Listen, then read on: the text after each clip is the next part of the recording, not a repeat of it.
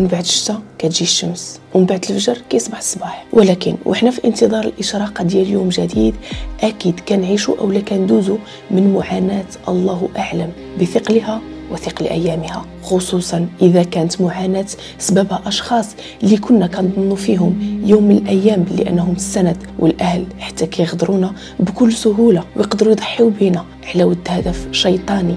اللي غادي يسيطر لهم على قلوبهم. ولكن هاد الأشخاص ما عارفينش أنه مهما أذونا أو لحفروا لينا ما غاديش يقدروا يتمكنوا منا خصوصا إذا كان اللطف الإلهي مرافقنا اللي كيخرجنا أحياء وخا كلنا مكسورين. مولانا كيرمم هذا الكسر وكيداويه. حكاية الليلة اللي كناكد لكم بلي أنا والنهايه ديالها غادي تكون سعيدة. وهي معنى إن ينصركم الله فلا غالب لكم. ما تمشيو فين. وبقاو معايا في حلقة الليلة. تستافدوا درس من حكاية متتبعة اللي غادي تبوح لنا بأسرار حكايتها لأول مرة. سلام سلام. ومرحبا بكم على قناتنا اليوتيوب سلامي لي كنتمنى انكم تكونوا بخير وعلى خير. واموركم هانية. توحشتكم وتوحشت بلاصتي وتوحشت حتى التعاليق المبهجة والإيجابية اللي كيتخليو ليا في كل فيديو. توحشت أنني نعطيكم الأمل وتوحشت أنني نحذركم من المواقف اللي تقدروا تطيحوا فيها في أي وقت. توحشت أنني نشارككم قصص مخدومين عن حب وتوحشت نعطيكم من وقتي. عدنا والعود أحمد. فمرحبا بكم من جديد على قناتنا. وباش تكونوا من الاولين اللي كيتوصلوا بالقصص اللي كنحط لكم وما تنساوش أنكم تفعلوا جرس القناة لتحت باش يولي صيفط لكم رسالة كل ما حطيت فيديو جديد. وتكونوا نتوما الاولين اللي كتشاهدوا وكتخليو لي تعليق باش نقدر نشوفو. عذروني اليوم واخا صوتي شوية ضارب البرد ولكن اصريت باش أنا ندير لكم فيديو وما نغبرش عليكم هذا الشهر. خلينا ما نتعطلش عليكم أكثر ونقول لكم لنبدأ. صاحبة الحكاية كتقول أنا سميتي سمية وحنا بينا أربعة ديال الخوت. هو الأول غادي نقربكم واحد شوية من الصورة ديال والديا. ماما من مدينة. وبابا من مدينة واحدة أخرى. خالت ماما وعم بابا كانوا مزوجين. هما اللي غادي يعرفوا والدي على بعضهم وتزوجوا واحد الزواج اللي هو تقليدي. أنا ذاك ماما كانت عندها 17 سنة. غادي تزوج على سن صغير مازال مادية وما جايبة في الحياة. غادي تضغط عليها جدة باش تزوج بابا اللي كان ساكن في واحد الدولة الأوروبية. جدة اللي ما كانش عندها ماما كابن عزيزة أو قريبة لقلبها. واخا كانت مطيعه عليها بزاف. ماما تزوجت بابا وغادي يجيبها لدارهم اللي كانت عامرة بزاف ديال خوتو وامو ومرت باه وجداه اللي كانوا عايشين في دار وحدة. تكرفسوا على ماما بما تحمله الكلمة من معنى. لدرجة أنه صحتها كانت على قد الحال وضعيفة. أش منك يا تخمال؟ أش منك يا تصبين؟ وأش منك يا شقا ماما كانت هازت تسعود ديال النفوس وحماتها وحماها وأمه.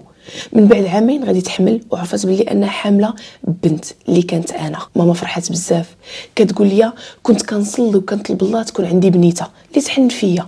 ونحط عليها الراس ونديرها أمي وأختي وحتى صاحبتي. حتى بشرني بك مولانا. أما العائلة ديال بابا كانت تقول يا ماما ما كانوش باغيين البنت وكانوا تيعمروا بابا على ماما. لدرجة أنه نهار ولدتني بابا ما جاش عندي حتى للسبيطار باش يطلع عليا وما دار حتى شي حاجة اللي كتبين بلي أنه فرح بيا كبنت. المهم جيت للدنيا وعشت في دار جدي ثلاث سنين. وهنا بابا غادي يقرر باش أنه يدينا لعندو لديك الدولة الأوروبية. فين تيسكن ولكن قبل غادي يدي خوتو الذكورة. فاش مشات ماما غادي تمشي لنفس المعاناة. كانت هزاهم بتصبيرهم بشقاهم بطيابهم بتقديتهم حتى وقفوا على رجليهم. بابا كيخدم على برا ويجيب الفلوس وماما كانت مكلفة بالدار. أنا تنكبر غادي ندخل الابتدائي في ديك الدولة الأوروبية. وبديت كنتأزم في القراية. كانوا التلامذ كيتنمروا عليا. واخا كنت بنت عادية وما فيها شي حاجة ماشي حتى ليه ولكن حيتاش كنت غريبة عليهم. كانوا تيبعدوا مني وحتى الأساتذة حتى هما. كان واحد الجو اللي كان خايب وديما تنجي للدار كنشكي وكنبكي ونقول لهم راني عييت. درت عشر سنين. بابا غادي يقرر باش أنه يصيفطني للمغرب. وهنا فين غادي تبدا قصتي أنا هبطت للمغرب كيف قلت لكم؟ فرحانة حيت غادا للجنه غادا لعند جدة وعماماتي اللي غادي يتهلاو فيا ويديروني في عينيهم. وأنا ما كنت ضاربة للدنيا حساب. ماما مسكينة كانت كتشوى عليا. فاش قال لها بابا غادي نصيفطو سميه فبقات بالجسم ديالها في ديك الدولة الأوروبية وعقلها مشى معايا للمغرب. نهار مشيت تلقيت الصدمة ديال حياتي. غادي نولي نعس في الأرض في بيت جدة وهي واحد عمتي اللي هي بنتها ما كانتش باقا مزوجة كانت كتنعس معاها في الناموسية. كان بابا كيصيفط لهم 2000 درهم 40 ألف ريال غير باش ناكل من غير فلوس المدرسة. تخيلوا كانوا كيفطروني بخبز والزيت واتاي والغدا جدي اذا جاب الدجاج كانوا كيقليوه ليا وكيعطيوه ليا مع طرف ديال الخبز. وفي العشاء نشرب الماء حتى نتسوى ونعس قمة الجوع والقاره والمعاناة. وفوق هذا الشيء كان خاصني نقرأ وخاصني نتعلم العربية والفرنسي وأنا مازال والو في وسط هذا الشيء. فاش دخلت للمغرب كانوا نقصوا لي من ال niveau ديالي. كنت في ديك الدولة في أولى إعدادي فاش جيت للمغرب وليت في الثالث. نفسيا كنت مدمرة ومعنويا مدمرة. وكناكل العصا من عند جدة اللي كتقول لي نوضي طيبي لعمتك نوضي ديري ليهم. الفلوس اللي كان كيصيفط لهم بابا كيجمعوا فيهم وكيديروا بهم الذهب على ظهري وإذا جاب الله جا بابا ودور معايا كنت كنخبي دوك الفلوس كانت كتحيدهم ليا جدة. وإذا تقدى ليا كانوا كيحيدوا لي ديك التقدية. أنا في هذا الوقت كنت حاطة راسي على واحد مرت عمي واحد عمتي من با اللي ماشي شقيقته كنت نشكي عليهم كنت نبكي عليهم. مرة كانوا يواسيوني مرة يديوها فيا مرة ما يتسوقوش ليا. المهم داز العام الأول بنفس المعاناة. وتخيلوا جيت أنا الأولى في القراية كلشي تصدم. كيفاش هذه يلاه جات من هذه الدولة؟ هذه عام وتفوقات. صراحة بابا كان معاوني ماديا في الدراسة ديالي. هذا الأمر اللي ما كانوش هما كيتحكموا فيه. كان جايب لي أساتذة حتى للدار. كانوا كيعاونوني في المراجعة. خسر عليا دم جوفو غير باش ننجح. أنا ما كنكرش باللي أنا وبابا دار عليا المستحيل غير باش نقرأ. كنت صيفط لهم الفلوس وعند بالو باللي أنه راني واكلة شاربة ولكن لا. كنت عايشة وسط واحد المحيط فيه الشفرة والمكر والكذوب والنفاق وحتى الجوع. المهم. بقيت هكاك. وأنا امنيتي وامالي انه والديا غيرجعوا للمغرب واحد النهار ونسكنوا مجموعين ونبنيو عائلة. بقيت ثلاث سنين وأنا بوحدي. ثلاث سنين وأنا معذبة مع هاد الناس. كأنني كنت شي مرت ولدهم اللي كيتعداو عليها. ولكن في الحقيقة راني بنتهم. بنت ولدهم من دمهم للأسف. أخيرا ماما غادي صيفطها بابا لعندي المغرب ولكن ماشي بخاطرها. كنا ديك الساعة في ديك الدولة بدارنا قداشنا هي. مفرشها ماما وقدتها على دوقها. وفرحات. وقالت الله غادي ترجع عندي سميه وغادي نتجمعوا من جديد. ولكن قال لها بابا لا. قال لها سيري عند بنتك. وأنا غادي نجي نخلط عليكم ونديروا مشروع وندير لكم الدار ونقري ولادنا القرآن والعربية في بلادهم. حيت كان خايف علينا من الغربة. صيفطها بلا خاطرها. تيقاتو وفعلا نزلات. ماما جات للمغرب جابت خوتي وحتى هما غادي يدوزو من نفس السيناريو ديال القراية اللي داز عليا. تجمعنا في بيت واحد أنا وماما وزوج ديال خوتي. في هذه الفترة بابا كان تيبني في الدار. في نفس الوقت غادي يقرر هو واحد عمي اللي كان معانا في الخارج أنهم يديروا مشروع في الكراج ديال الدار ديال جدي اللي هو باهم في التحت. واحد النهار كان فيق كان لقى رجلي كلهم فيهم طبيع حمر بحال الحبوب. مشيت وريت لماما داكشي وقلت لها شوفي شنو هادشي راني مخلوعة. قالت لي شوفي يا بنتي غادي تكون غير شي حاجة اللي قرصاتك. قلت لها لا غادي نمشي للسبيطار ديال الحومة اللي غادي ندوز فيه. فعلا درت التحاليل وماما مشات جابت لي النتيجة ورجعتهم للطبيبة اللي غادي تقول لها دابا بنتك ديها المستعجلات. علاش ما علاش؟ ياك لاباس. بنتك عندها جريان الدم وفي أي لحظة يقدر يجيها شي نزيف داخلي بلا ما تعرفوا ببساطة الصفائح الدموية نقصوا ليها بزاف ويقدر يكون عندها سرطان في النخاع العظمي اللي هو اللي كينتج هاد الصفائح الدموية. هزوني والديا وداوني لواحد السبيطار معروف. وقالوا لي غادي تجلسي ديري واحد التحليله اللي شبيهه لشي عملية. بمعنى غادي نهزو واحد المادة من النخاع العظمي باش نديروا ليها التحليلة. فعلا درت هذا الشيء اللي طلبوا مني. وقالوا لنا الحمد لله راني ما عنديش سرطان. ولكن عندي واحد الميكروب في الدم اللي تياكل لي دوك الصفائح وما تيخليهمش أنهم ينتشروا. وهذا المشكل كان عندي وأنا مازال في ديك الدولة الأوروبية. كنت كنرعف وما كنتش لقيت حتى شي علاج لهذا الأمر. غير هو كانت كتزيد تكفس حالتي من قلة التغذية. ما كنت كناكل حتى شي حاجة. وكنت مهدده في أي لحظة أنني نموت بلا ما يعرفوا والديا السبب باللي أنه العائلة اللي هما مأمنينهم عليا هملوني. فبقيت متبعة وكل مرة كنت كندير تحليل ديال النخاع العظمي باش نتأكدوا واش فيا سرطان. الحمد لله ما عنديش ولكن كيف قلت لكم عندي الميكروب اللي ما عرفش علاش تياكل لي دوك الصفائح بالضبط. أنا في هذا الوقت بالضبط كنت لاصقة في واحد عمتي من با واللي هي حقودة. ولكن ما كنتش عارفة هذا الشيء. كان عزيز عليها تلبس وتخرج وتدور وخوت بابا ما كانوش يخليوها وكانوا تيضربوها وخرجوها من المدرسة. هي شنو قالت مع راسها؟ قالت أنا ما غاديش ننتقم من خوتي ولكن غادي ننتقم من ولادهم. هذا عمتي كانت معوضاني على الحنان ديال ماما اللي ما عشتوش معاها وكنت محتاجاها فيه. كانت معوضاني على كل شيء. اللي كانت فايتاني تقريبا 10 سنين. أنا بقيت متشبته بها وهي كانت خارجة على الطريق. كنت كنشوفها شنو كدير. وبابا شحال من مرة كان كيقول لي بعدي منها وأنا والو غير لاصقة فيها. تخيلوا شفتها كتسحر شفتها كدير شحال من حاجة اللي خايبة. ولكن أنا كنت والو لاصقة فيها. وهذه نقطة مهمة بغيتكم تبقاو عاقلين عليها. هي نقطة واحدة أخرى أنها جاتني أول مرة الدورة الشهرية ديالي وأنا بعيدة على ماما. كانت مازال ما لحقات عليا. في هذه الفترة قلتها لجدة اللي غتطلب مني الملابس الداخلية ديالي. غادي نعطيهم ليها. وكل مرة كنت كنقول لها ترجعهم لي كتقول لي ما عرفتش فين درتيهم نتيا المهم بعد عام ما جات ماما بزز باش غادي نمشيو لديك دارنا اللي تبنات أنا وماما وخوتي. كل مرة بابا كان تيعطينا في الاعذار لا سباغ مازال ما كملش لا راه باقي هذه لا مازال ما كملناش الخشب. كيدابت كل مرة هو ماما حتى غادي تجمع حوايجها وتمشي لدارنا الجديدة.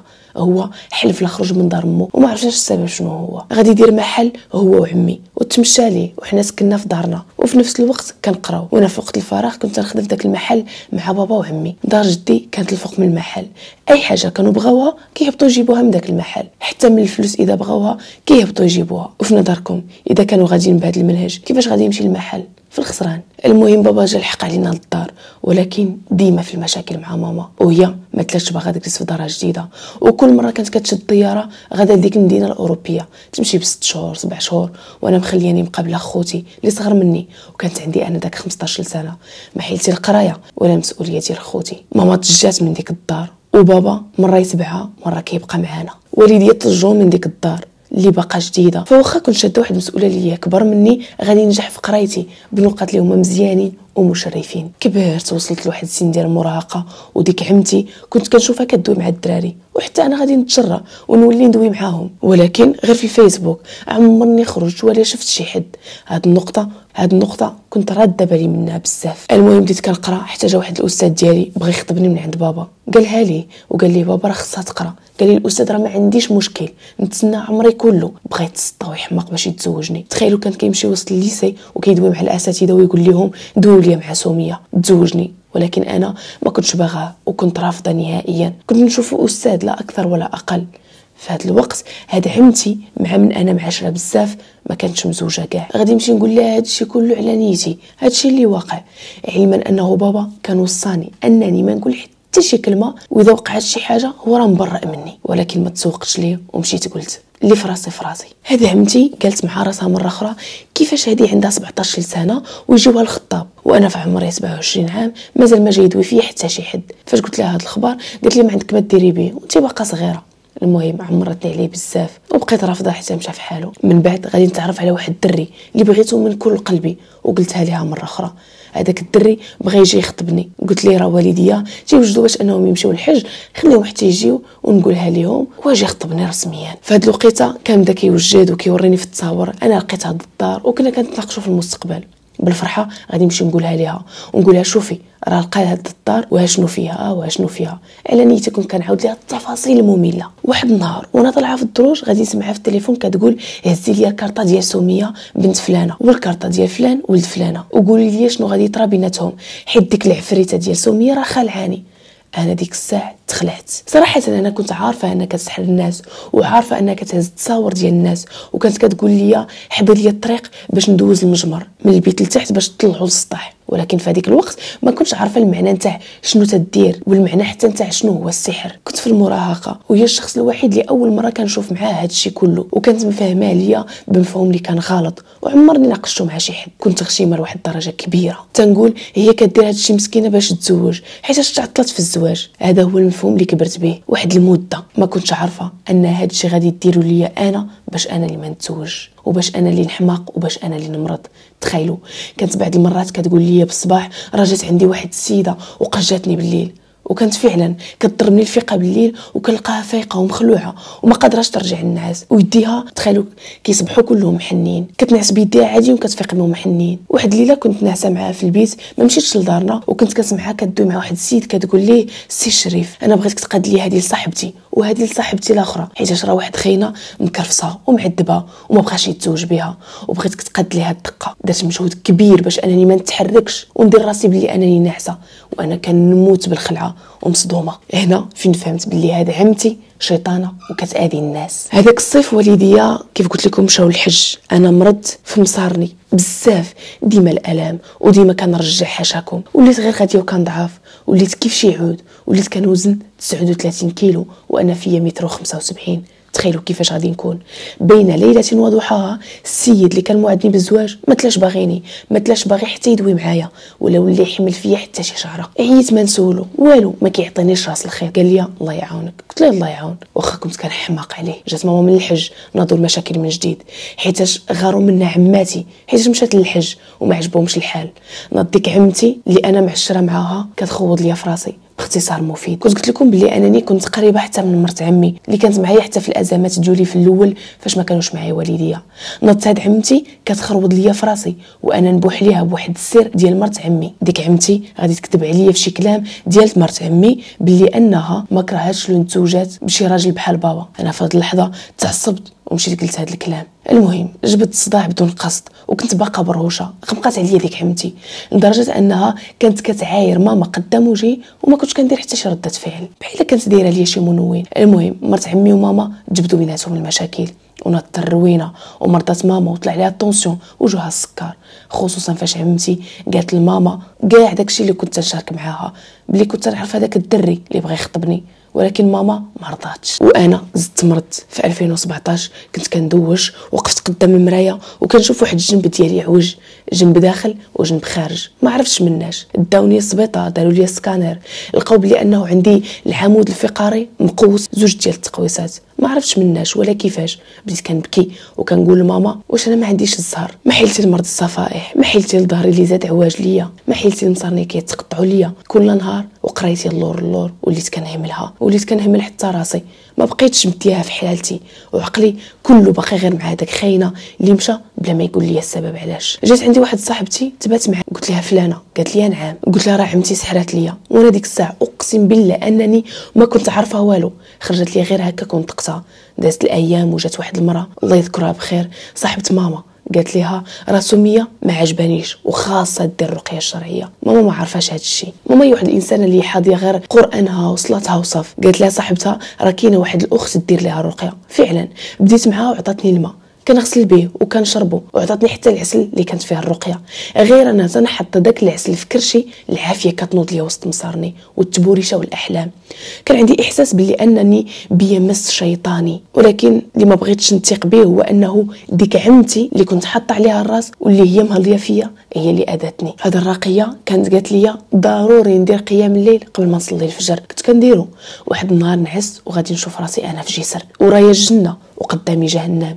جات ديك السيدة اللي كدير ليا الرقية وقالت لي شوفي يا بنتي أول وحدة غادي تخرج من جهنم وتشوفيها هي اللي دارت لك السحر. أقسم بالله إلا في ديك اللحظة غادي تبان لي عمتي خارجة كتحرق كتحرق وفقت من الحلمة ديالي. بالخلعه بديت كنبكي وكنقول علاش دير لي هادشي وشنو السبب؟ غادي نقرر انني نفرق ما بيني وبينها. حتى لواحد النهار غادي تصيفط ليا message وتقول لي فين غبرتي؟ وشنو درتي مع داك السيد؟ حدي قلت لها راه تفرقت معاه والله ياخذ الحق في اللي كان سبب. قفزت راسها وقالت لي علاش شكون اللي كان السبب وما سولتني هذا السؤال إلا وعارفة بلي أنها هي المعنية. دازت أيام وقالت آجي آجي. سميه غادي تشوهني. وتقول لهم بلي أنني كنت نمشي لعند هاد الشوافة ولعند هاد الشوافة. وبلي أنا كدير بيا السبه باش نخرج.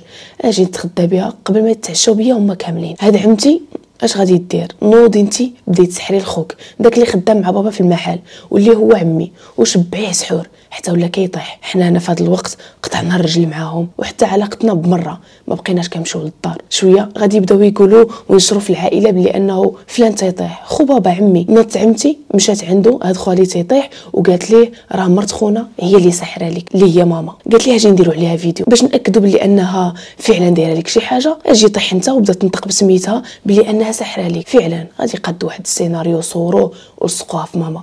ماما سمعت داكشي طلع ليها الطونسيون 18 ودارت لاباري ديال القلب. كانت غادي تموت. آه ويلي كيفاش نسحر ليه؟ كون بغيت نسحر ليه؟ كون سحرت ليه فاش كنت مقهورة وسط العذاب ما بيناتهم.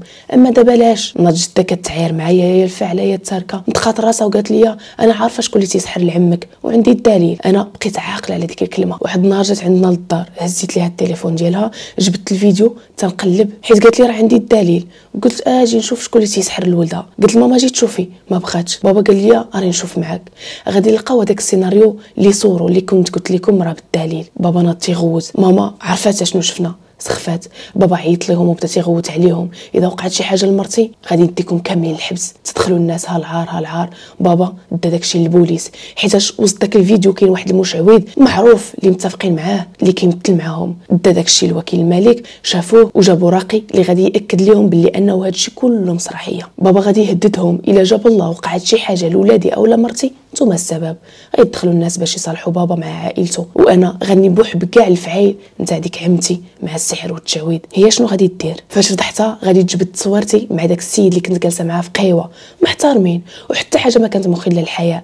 غادي تجبد لهم التصويرة وتوريها لبابا. وتقول ليه هاك شوف دابا شكون اللي خارج على الطريق. هاك شد بنتك. بابا ما رضاش. في ديك اللحظة غادي يكذب وقال قدام عائلته راه جا خطبها. ما بغيتش. وهاد الخرجة راه كانت مع ماما ومع امها المهم شوهاتني في العائلة كلها بالرغم من أنني ما درت حتى شي حاجة خايبة. كنا كنشربوا غير العصير في القهيوة وكانت هذه أول مرة وآخر مرة كنت كنتقابل مع شي واحد. المهم بابا قطع معايا وماما عاود طلع لها السكر. عمرني ما ننسى المعاملة ديال بابا معايا. كون كان شي أب آخر كنأكد لكم أنه كون قتلني. ولكن سكت وقال لي جملة وحدة. خذي اللي يبغيك وما تاخديش اللي تبغيه بابا قمة الرجولة والتفهم والحب والحنان. واخا مدة وهو مخاصمني.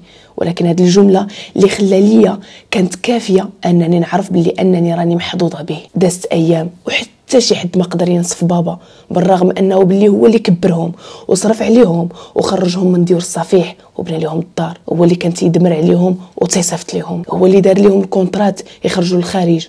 هو اللي كان يزوجهم ويعطي بلا حساب. نهار قال لهم وقفوا مع الحق راك ظلمتوني وظلمتوا مرتي وحمقتوا بنتي حتى شي حد ما جا من جهته مو هي الأخرى ما تسوقاتش ليه إلا واحد عمي وديك مرتو اللي كنت جبت لي هذاك المشكل واخا هكاك بقات عشيرة ماما. واخا تناقشات معاها خوهم من باهم بقى يشفر ليهم من داك المحل ديال بابا حتى داروا faillite وسدوا بابا من تما هو اللور اللور والمشاكل في الدار. كان راس حتى ولا رجلين وغرق كريديات. أنا وصلت للباك وباقا مريضة واللور اللور مرة نطيح مرة مرة نقز مرة نعواج مرة نطير غير بداك المس. مشيت عند سيدة وحدة أخرى ترقيني وهنا غادي ننطق. داكشي اللي فيا بدا كيدوي وقال بلي أنه راه عمتي هي اللي وكلاتني في بيسكوي وبلي أنه داكشي ساكن ليا في المعدة وما غاديش يخرج. عطاتني ديك السيدة الراقيه شي عشوب باش ندير الاستفراغ. درتو. واش من زغب رجعت واش من شحومات واش من ويل كحل. أعزكم الله اللي رجعت. غادي نمشي للفيرما ديال بابا. جلست فيها 3 أيام وأنا متبعة دوايه حتى تنقات معدتي ومصرني. من بعد تبعت حتى ماما اللي لقيتها كثار مني في المس. ماما كان عندها السحر في الدم ديال النفاس ديالها باش عمرها ما ترجع ديك الدولة الاوروبيه وتبقى ديما تحت الخدمة ديال أهل ديال بابا. عرفنا شكون السبب وقررنا أننا نستروا هذا الأمر باش ما نزيدوش نشوهوهم. شوها على شوها واحدة أخرى قدام الناس. من فوق هذا الشيء من بعد غادي نكتشفوا بلي أنه عندنا السحر في الساس ديال الدار. فاش كنا كنبنيو وعرفنا بلي أنه في عائلة بابا كل واحد باش كان مكلف باش أنه يادينا خالي عيط من الخارج. قال دارنا قطعوا السميه تجي لعندي وفعلا مشيت. باختصار مفيد أنا سهل عليا الله. مشيت لدولة واحدة أخرى أوروبية. قريت عامين ديال المعلوميات. وفي شهري الأول غادي تقدم ليا واحد ولد الأستاذة اللي كانت كتقريني. سبحان الله. جاني في واحد الفترة اللي كنت رافضة الحب واللي يجي من جهته. ولكن سبحان الله بغيتو أكثر من أي واحد في هذه الدنيا. تيسرات لنا الأمور بسهولة ديال الزواج. وكتمنا سرنا حتى قضينا أمورنا. ربي يسر ليا فيه وسهل عليا به ورجعت لي صحتي وحياتي والرغبة في الحياة كأن شيئا لم يكن. ورغم أنه عمتي شوهاتني وفطرت عليا وقالت لهم في العائلة بلي أنني كنت حاملة ودرت الاجهاض وربي شاهد عليا أنني عمرني درت شي حاجة خايبة أو شي حاجة نحشم بها قدام وجه والديا أو حتى وجه مولانا. أنا دابا مزوجة وتنقرأ وتنخدم وساكنين على قد حالنا حيت يلاه بادين. وبخير وفرحانين وما خصنا حتى شي خير. وعوضني مولانا براجلي أكبر عوض. من بعد ألم أنا اليوم في أمل. والعبرة من قصي بالمختصر المفيد. الوالدين يبقوا ديما مع وليداتهم. أي إنسان ما يدير الثقة في حتى شي حد. وكيف ما بغى يكون. وأخيرا الصبر على المصائب والظلم لأنه ربي في الأخير غادي يفرجها. طوال الزمان ولا قصار ربي تيخرج الشميشة. وهذه كانت حكاية سمية اللي كنتمنى أنها تكون نالت إعجابكم. ما كرهتش إذا وصلتوا لهذه اللقطة. تقولوا لي لتحت في التعاليق شنو استفدتوا وشنو العبرة من هذه القصة ديال سمية. عن دوري ما عندي ما نقول لأنها قالت كل شيء بالمختصر المفيد. دمتم في رعاية الله وحفظه. ما تنسونيش من أنكم تضغطوا على زر الإعجاب. سلام. سلام.